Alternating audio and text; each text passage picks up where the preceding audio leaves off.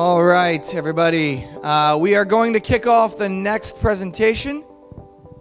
It's, uh, I'm going to let you say your last name. Um, I always mess it up. So, the next presentation is about sort of what we have going on two doors down, which is a hackerspace um, or makerspace. Uh, they are somewhat used interchangeably. I think Um, so. Yeah. And so the one next door is what we lovingly call a pop-up makerspace because it has no permanence. It doesn't actually sit there all year round. But there are places near where you live, most likely, that are there 24/7 uh, all year around. So that's a pretty cool thing. And Pawel is here to tell you about that. And so Pawel, Cool. take it away. Thank you. Let me hit start on my theme. First of all, is anybody here familiar with hackerspaces or is a hackerspace member? No. Cool. Okay. A couple, eh, couple people. That's cool. So I'm going to tell you about uh, hackerspaces. Um, so hackerspace, uh, first off, is made up of tools and junk. So there's a variety of uh, different equipment. Um, it's, it's a physical space.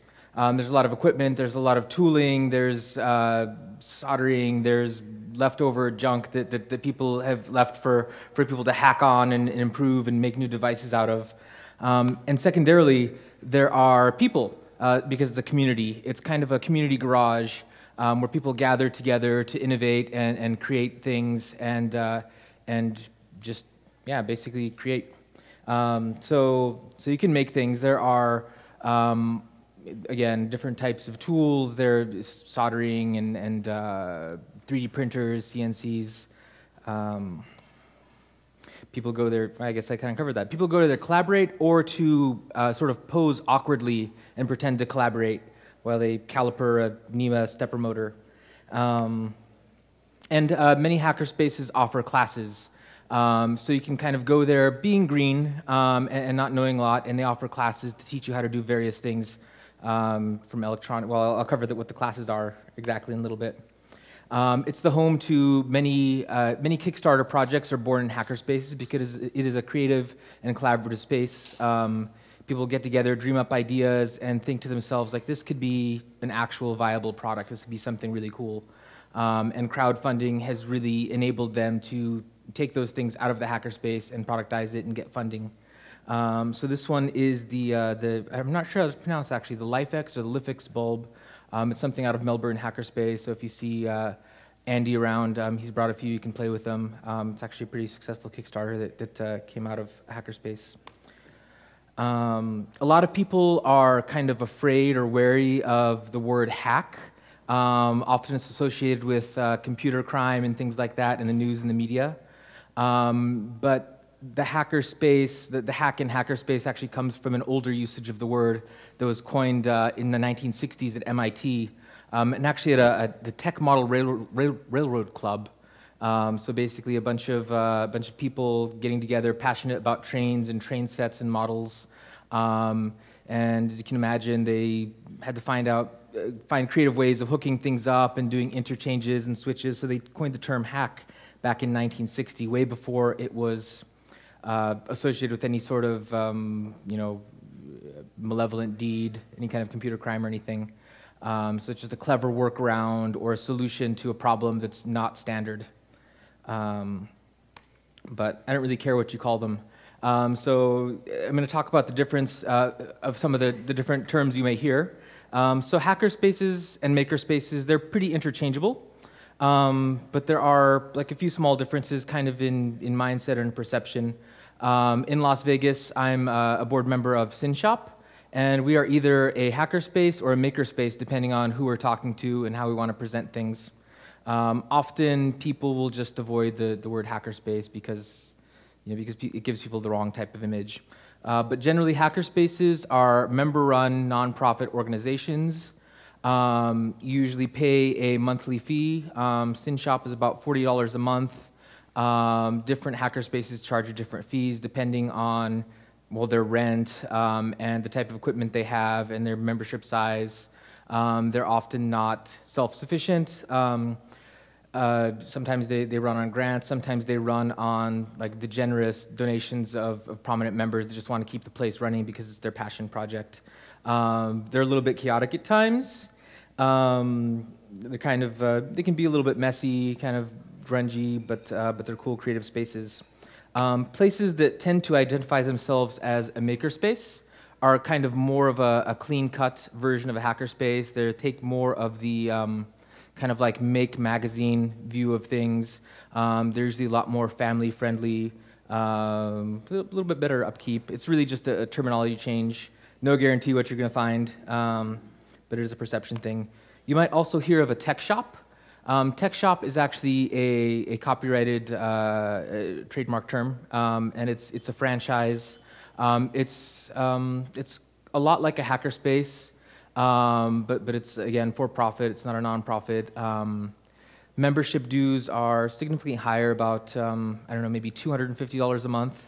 Uh, but they have a very nice uh, facility, very clean. Um, some of the community aspects often aren't as strong because people are just kind of going there for uh, you know, to do what they want to do. It's kind of like a like a gym membership. You don't often like you know interact with people. You kind of like I want to go there to use the laser cutter. I want to go there to use the uh, the table saw or whatever.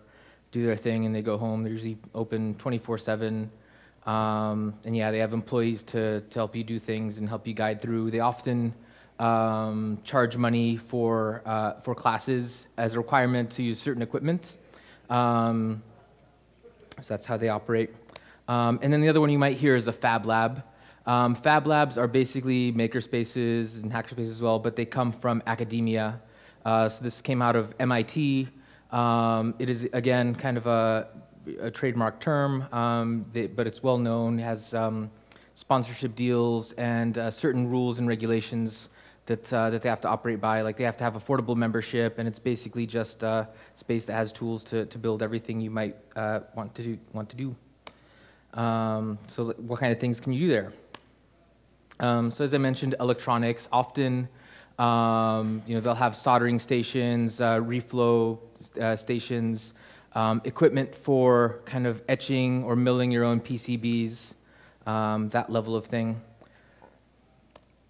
Um, often they'll have uh, sewing or soft circuit areas where you can, uh, like sewing machines, industrial sewing machines, um, vinyl cutters, and things like that as well. Um, woodworking, so that includes um, both things like traditional table saws and band saws, as well as uh, more modern woodworking equipment um, like CNCs or, or like large shop bots, which are computer controlled um, like routing machines where basically you um, you put in a plan and out pops like IKEA furniture. Um, so this this wood that you see here is, is cut out on a CNC and it's just meant to pop out um, and uh, and slot together.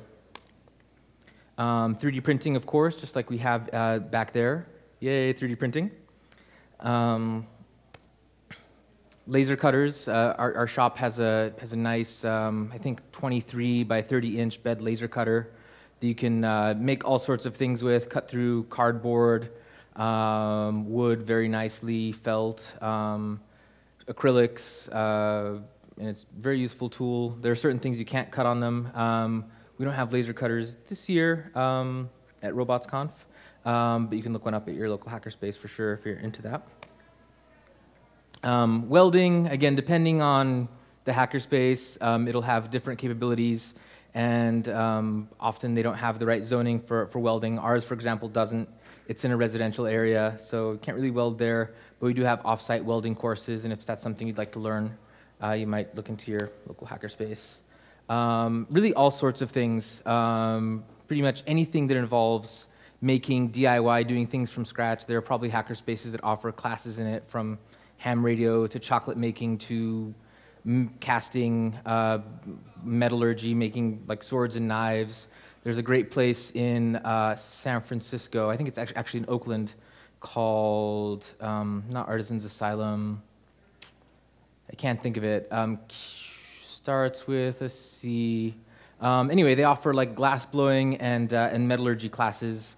They always show up at Maker Faire and have these really excellent kind of like wrought iron um, like butter knife sets and, and, all kinds of equipment. Um, if you're interested in that, uh, find me afterwards and I'll, I'll tell you what the name is because it just is not coming to me today. Sorry? It's, it might be, I don't know if it's the Forge actually. It could be. It's something very similar to that. Um, and so if you haven't been to a hackerspace uh, before, you might not know what to expect. So I kind of just wanted to go over what you might expect and, and how you can get through your, your first hackerspace visit, um, you know, happily. um, so first of all, uh, depending on your city, um, there probably is a hackerspace or something similar near you. Um, you should go find your local one. Uh, if you go to hackerspaces.org, it's kind of the, the unofficial, official um, wiki for, for hackerspaces to register themselves so they're known. Um, they have a nice map, and uh, you can search by your zip code and find out whatever's near. They list hackerspaces, uh, fab labs, um, anything that's similar. Um, so you should be able to find something um, near your vicinity, hopefully. Um, and then just set your expectations, because hackerspaces, um, and because they are member run, they're often different qualities all over the place. They could be at somebody's house. Um, it could be a creepy house like this, hopefully not this creepy.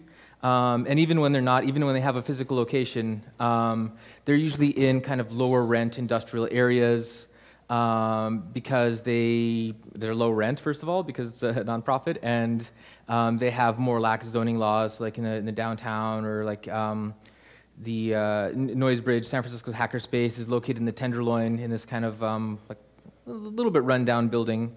Um, so just set your expectations. Um, you know, look up where it is. Um, it's okay to bring a friend. In fact, it's probably better to bring a friend because they might get into uh, you know, the hackerspace ideal as well, and, uh, and they're always happy to see more members at those places. Um, be prepared to be ignored.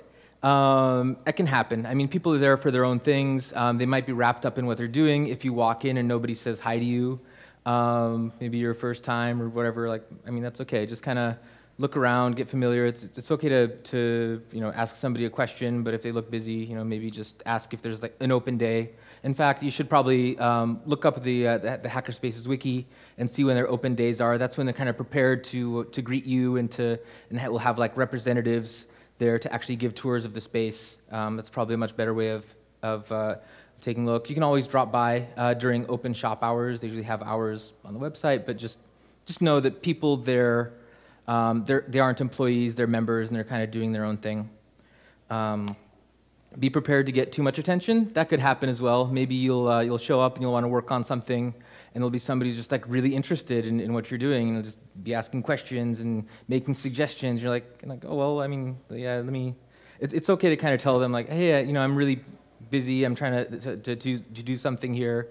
I'm trying to concentrate, whatever. We actually have do not disturb signs at our hackerspace because there's sometimes a problem. People get excited about making things, they, they want to help out. Um, so that could happen, like totally the polar opposite of not getting enough attention. Um, as you're going through a hackerspace, remember there's nobody obliged to help you. Um, I mean, they are, they are there for their own projects. You, you might be expected to walk in and it's kind of like a business, but it's, it's really a community, community place and community owned, community operated. Um, so just, you know, we have a lot of people um, who kind of like roll through SynShop and, and show up and say like, hey, I want to laser cut um, 300 signs. And they kind of expect us to be like, okay, no, like everybody's doing their own thing. Um, but if you go up and, and, uh, and say like, I want to learn how the laser cutter works so I can learn how to laser cut signs or something, people will be a lot more receptive.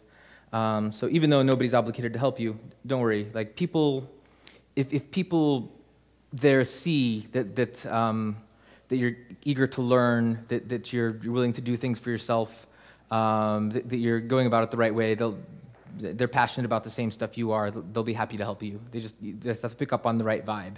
They're good people, you know. Um, they're creative people. Um, familiarize yourself with rules. Uh, there will usually be you know, a page that says, um, these are the rules of the shop. Um, you should know that you, you, can't just roll in and use the laser cutter on your first day or, or like dangerous equipment. Um, often places will have some sort of a certification requirement or somebody to kind of run you through the safety um, on a machine before you, you know, pick it up. And it's just common sense. And different shops have different rules. Um, for example, Noisebridge, I think they only have one rule, which is be excellent to each other. And it's a very kind of chaotic shop. Lots of places a little bit more um, like stringent on, on the requirements and things. Um, but uh, yeah, Noisebridge is a little bit chaotic. Um, and that's why follow the rules, but also use common sense. Um, so, I mean, make sure you know how to use equipment before you, uh, before you pick it up. Um, if you're not sure, ask somebody. Um, again, tech shop, they, they will require you to be certified on, on some of the more dangerous equipment, so it takes like a $50 class, but most hacker spaces, you just really need, um, you need somebody to kind of intro you to the machine, show you the basics, tell you what not to do. Don't put vinyl in laser cutter. Don't saw off your thumb on the chop saw, things like that. Um, just use common sense. Always respect the machine. Use the safety equipment. Um, it'll be okay.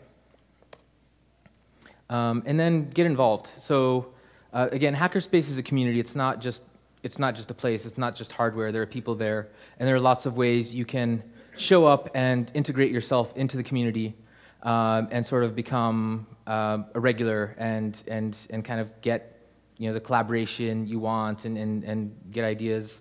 Um, so a lot of hackerspaces, um, again, because they are nonprofits and they, they, usually have board meetings and they're usually open to the public, so you can show up on a board meeting day and, uh, and help give some you know, feedback and shape the policies of the shop and make it a better place. Um, often you can vote in members if you, if, you know, if you, if you stick around and you like the place, you can join the board and, and help make you know, the policy. There are events like Hack Your Hackerspace Days, um, where you'll roll up and just kind of clean the space and do things that need to be done around the shop. Um, that's, that's a great way to kind of integrate yourself into that community. Um, and you'll be fine. I mean, hackerspaces aren't that scary. It's just a matter of going about it the right, with the right attitude. Um, and yeah, they're awesome. Um, so like, as many of you, um, you know, as we have the hackerspace, uh, the pop-up hackerspace here, uh, maybe you'll want to continue kind of your, your making and, and, and, uh, and things as you go home. So I hope you look up your local hackerspace um, and give it a try because they'll have a lot of tools and resources for you to, uh, to continue your, your making after this event. At least as far as hackerspaces go, um, like they all set their prices differently. Um, but in the case of SynShop, um, we have a monthly fee and a discount if you pay annually. Um, so ours is like $40 monthly. Even Tech Shop, I think if you buy up like a larger block or go through a, through a corporate discount, there, there's ways of getting it cheaper. Um, and some places have no dues, like, like Noisebridge. You just show up, um, and it's kind of like completely voluntary, donation-based. So it really depends on the space. Uh, there's not a location where I am. Mhm. It's like a top 50 town in the country. Is there any kind of a virtual meetup or anything like that for other areas or for other people to get more information? Sure. Or is that anything in the works or thoughts, comments? Thank you. Well, uh, for virtual stuff, um, there is hackerspaces.org has a monthly call-in. Um, so different hackerspaces and different people who are into making will kind of just like call in old telephone style conference um, and and just discuss sort of like issues and ways of running hackerspaces and kind of events coming up. Um, other ways, uh, maybe you can visit the uh, the, Make uh, Google group where they have kind of activities and things like that, um, techniques. There's a lot of excellent resources. Cool. Well, thanks everyone. Thank you very much, Pawel.